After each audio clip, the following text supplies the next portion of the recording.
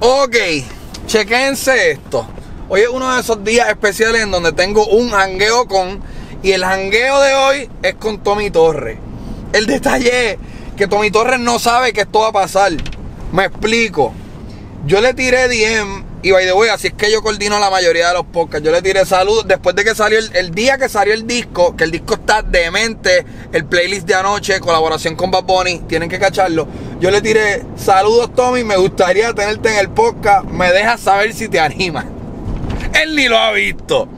Pero me comuniqué con su equipo de trabajo y se nos ocurrió, que yo no sé si esto es una gran idea, sorprenderlo. Eh, estamos en un carro, lo vamos a buscar eh, en donde él se está quedando y yo voy a estar con él entrevistándolo a medida de que sea posible y si él se anima, aunque está medio pillado, de camino desde donde yo lo voy a buscar hacia un meet and greet que se va a llevar a cabo, que ya se comunicó, la gente sabe que él va a estar, lo están esperando allí, en el Timo Bailarina. Yo creo que va a ser una entrevista como de 10 minutos. Estoy preparado. Eh, escuché el disco. Tengo las verdaderas preguntas. Deseenme mucha suerte y deseenme que él por lo menos diga como que, ah, wow, qué sorpresa más buena. Y no sea como que, que esto sea aquí. Eso es lo que va a pasar. Eh, nos vemos en breve. Ya Tommy está ahí, vamos a recibirlo. Algarete. Tommy Torres. Caballero. ¿Sabes qué? Esto es una loquera. Yo sé que tú no sabes que esto va a pasar. Pero en el día de ayer a mí me dijeron, ¿y si te montas en el carro con Tommy de camino al T-Mobile? Y yo dije, claro que sí.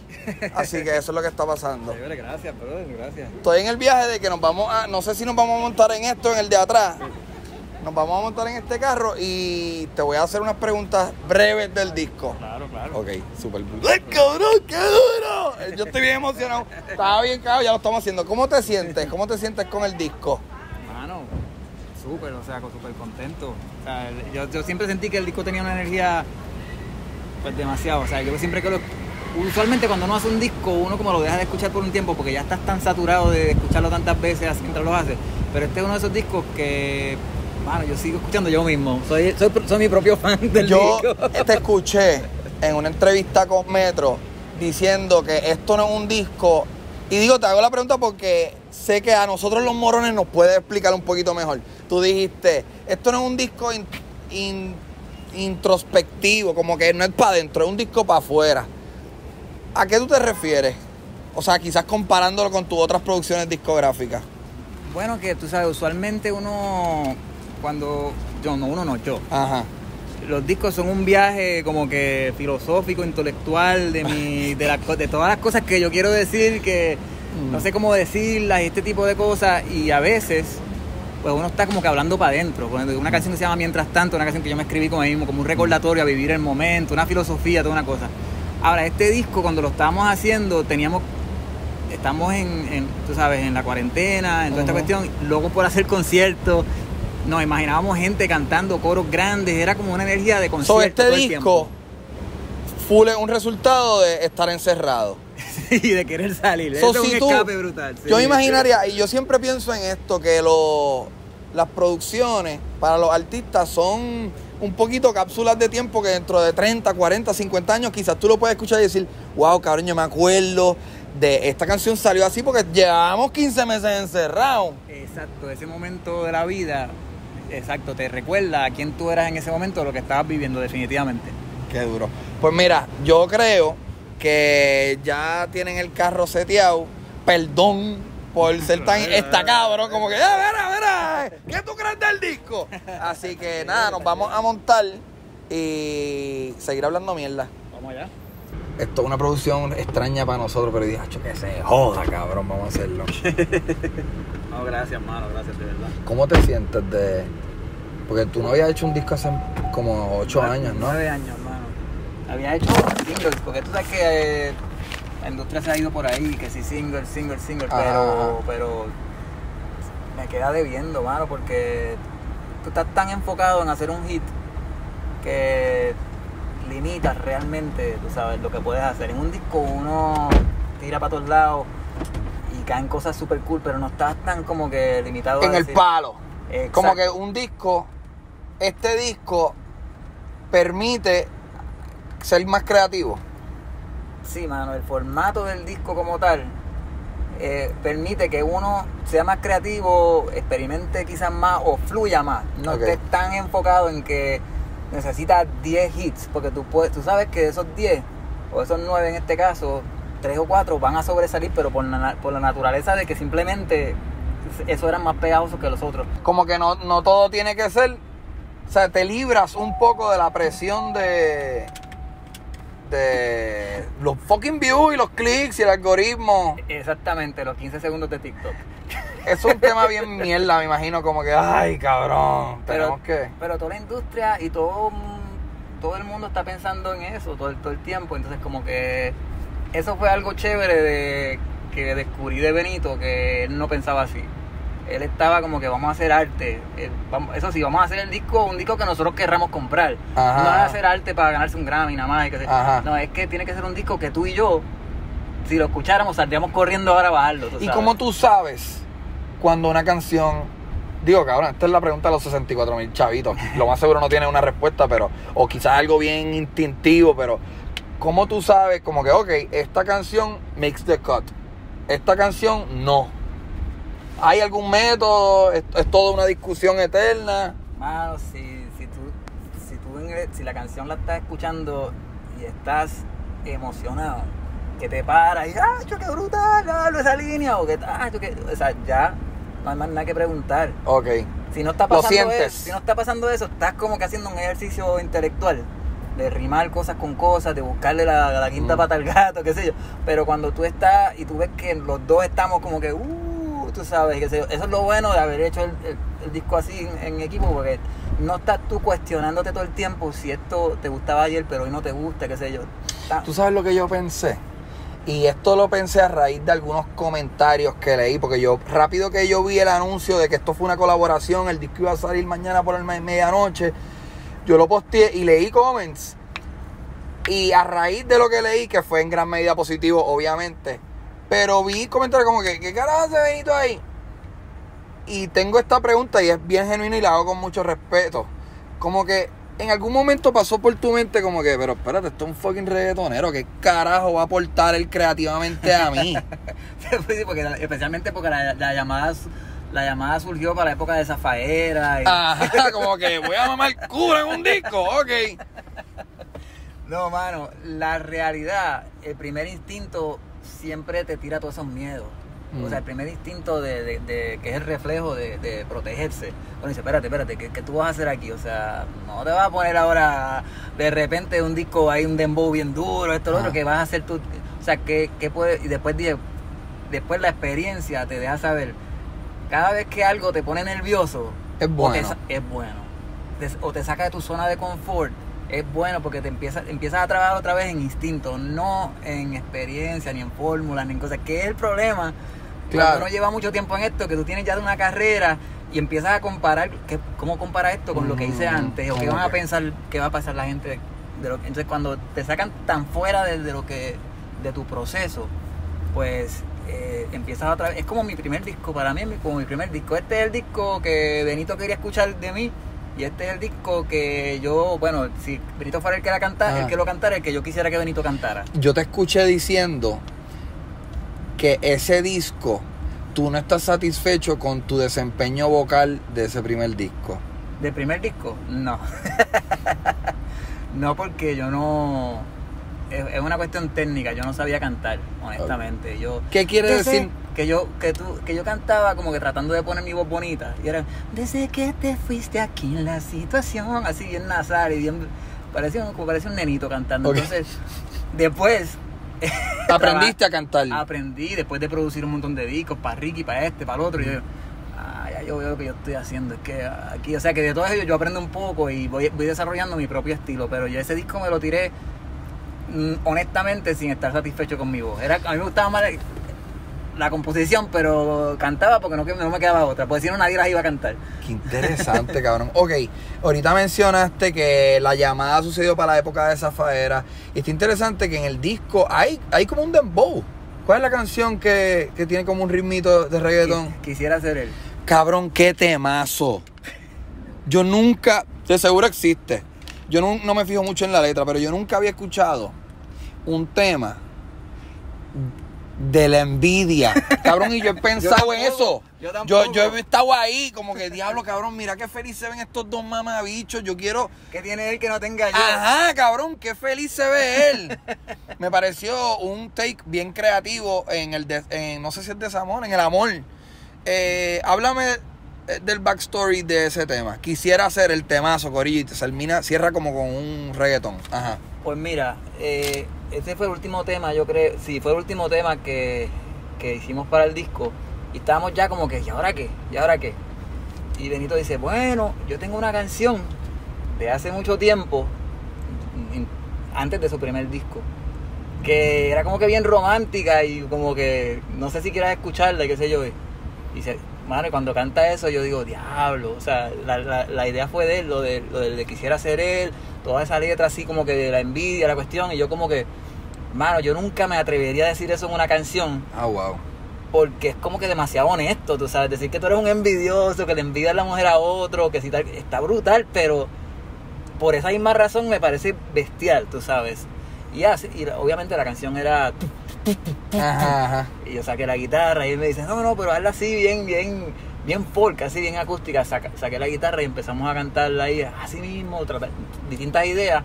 Y luego le pusimos ese beat como que de dembow oscuro, porque el relajo entre nosotros era que yo estaba en una discoteca, pero yo estaba así todo rochado en el baño, ellos estaban bailando en la otra discoteca, y yo, y yo escuchaba el dembow, pero como que opa- opaco, porque estaba, yo estaba encerrado en otro lugar.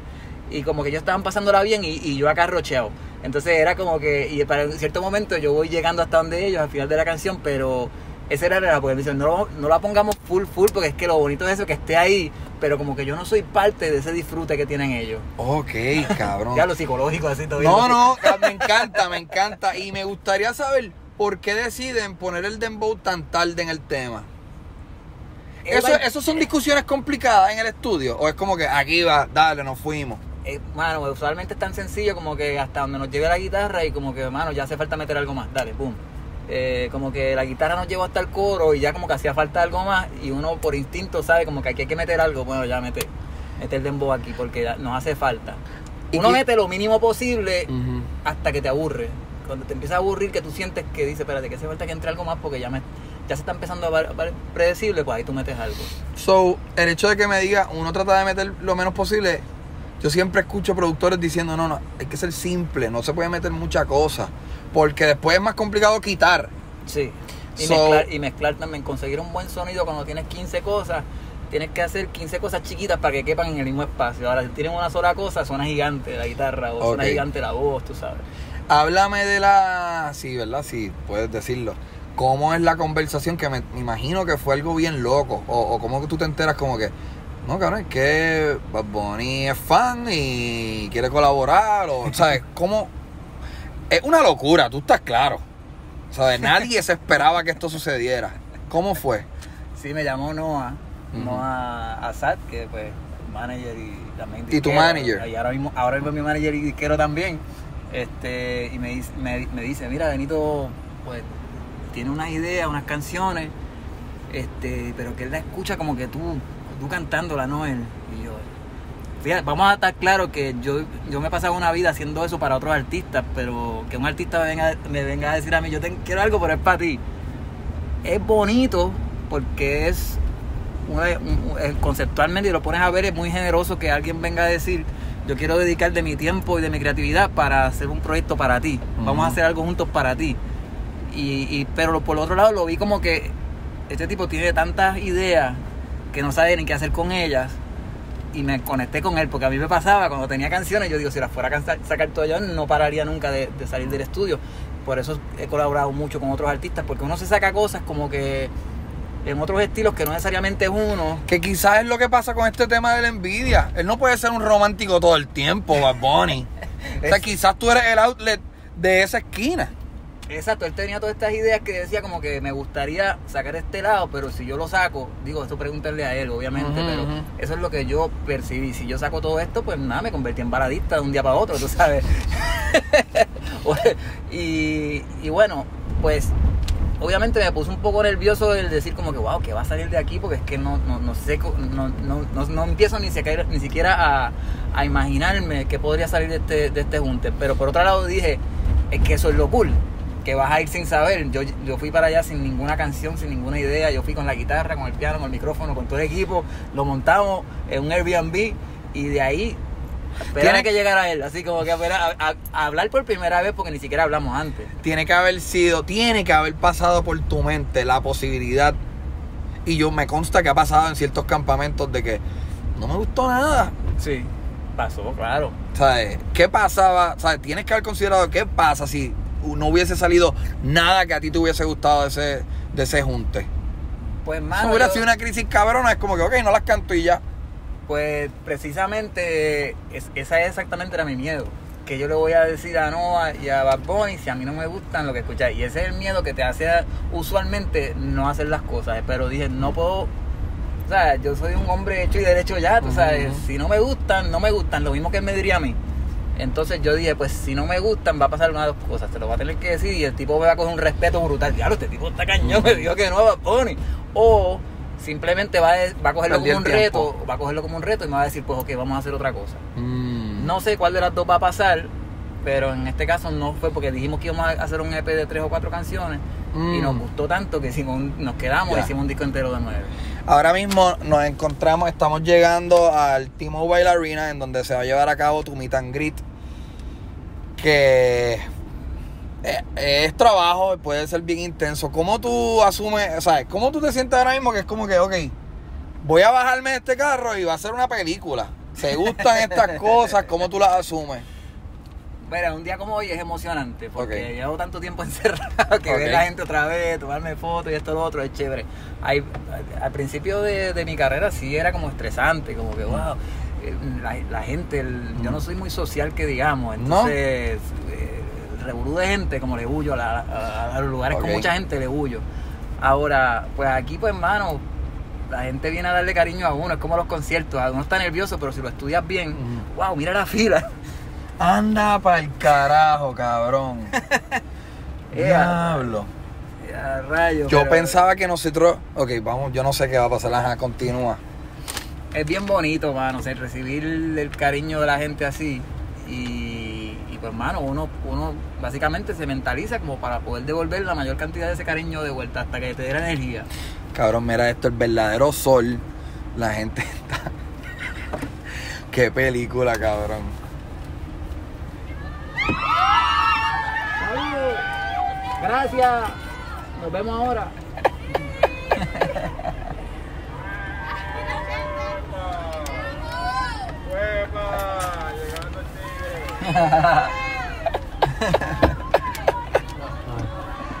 Wow, mano, ¿ves? Tú ves, uno nunca se acostumbra a eso. Tú dices Cabrón, como qué que película. Uno, mira para el lado, ¿a quién, a quién están esperando? Ajá. Bueno, suerte, Tommy. No sé si puede hablar contigo después de esto, porque esto va a estar levemente ocupado. Qué honor conocerte. El disco está cabrón. Gracias, mano. Creo que eh, estoy con el corillo, como que nadie se esperaba esta vuelta. Fue una sorpresa súper grata. Eh, te auguro mucho éxito, Tommy. Creo que vas a romper. este, gracias por tu rato. Espero que no haya sido un- una sorpresa muy bactripiosa. No, me encanta, Eh, me encanta, mano. Hablar de música para mí siempre es grato. este, próximamente te veremos en concierto. Eh, éxito. Gracias, bro. ¡Suave, gorillo! De repente llegamos al Coca-Cola. ¿Este es el Coca-Cola? Este es el Coca-Cola Music Hall, cabrón. Mira esta bellaquera. Y a rayo, brother. Yo no había entrado aquí. Yo no había entrado aquí. Este, no sé si aquí va a ser el meet and greet, de verdad, estoy un poco perdido con la logística. Tommy se fue adelante, imagino que él tiene responsabilidades más importantes que hablar con nosotros ahora mismo. Pero disfruten el espacio.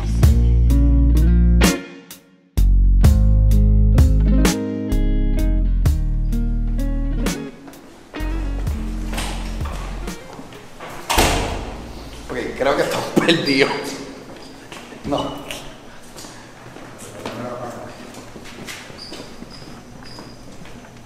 ¿Estás seguro que era por aquí? Normal. Gente se quedó atrás y se perdió. Bienvenido al mundo gallicoso. Y de vuelta aquí en el teatro. Fue para allá, que Ah, de seguro fue acá. Aguanta aquí, Alex, la puerta. No, no salgas tú, Percial. Voy a chequear. Voy a chequear si es para allá. Cabrón, mira, aguanta allá. ¡Aguanta la puerta! Ale, cale, de verdad está cabrón. Mira, por, por poquito nos quedamos stranded aquí. Yo no sé dónde puñetas estamos, pero el, el, el meet es allí. Cabrón, hay gente con cojones. Ay, podemos salir por aquí mismo. Aquí.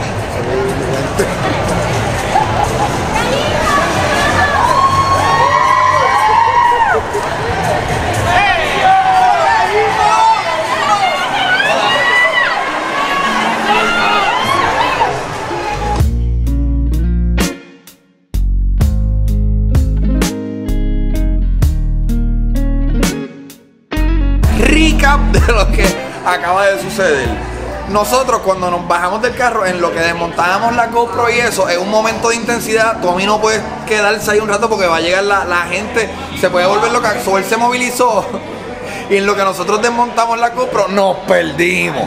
Él está allí eh, trabajando ciertos medios, periódicos, estaciones de radio, haciendo unas movidas de publicidad antes de meterse en el verdadero gentío.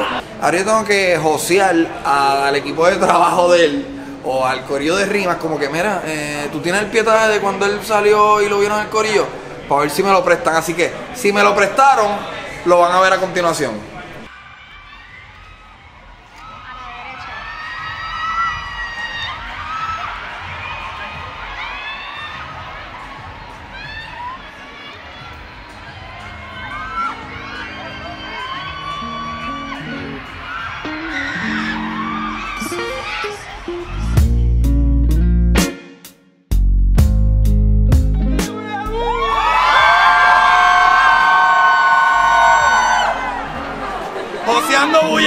Torres, le pertenecen a Tommy, no a mí.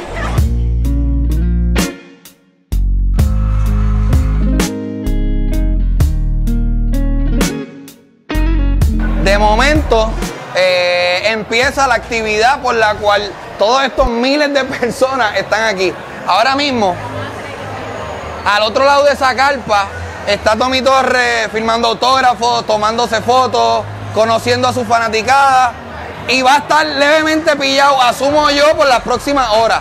Cuando nosotros estábamos llegando, eh, cuando yo estaba haciendo la entrevista a, a Tommy, como que me sorprendió ver la fila y yo me imaginé pues una fila que le da la vuelta aquí al área de T-Mobile y cuando lleguemos al centro pues va a estar esa fila. No, cabrón, aquí hay miles de personas. Yo no sé si la... Pues yo estimaba que iban a venir, que sean mil personas. Yo creo que ni la producción ni el equipo de trabajo se esperaban esta masividad. Chequense.